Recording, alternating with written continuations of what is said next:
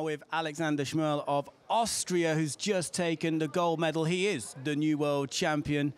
How does that feel, Alexander? Uh, yeah, it's uh, overwhelming. My emotions are, yeah, it's a crazy, crazy moment. Um, yeah, working all life for this moment.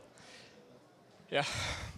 It's sinking in, it's sinking in because you are the world champion. You've took the gold medal and also secured an Olympic quota place for your country. Just keeps getting better, right? Oh yeah, perfect day. Yeah, yeah, perfect day.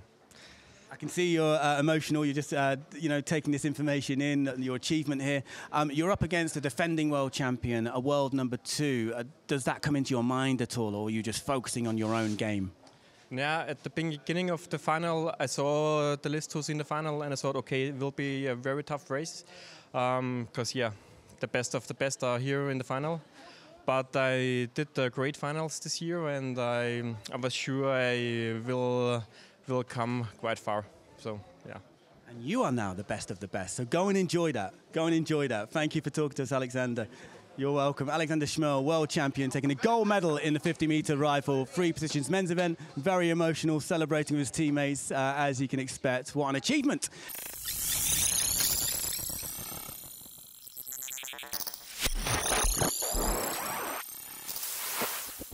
you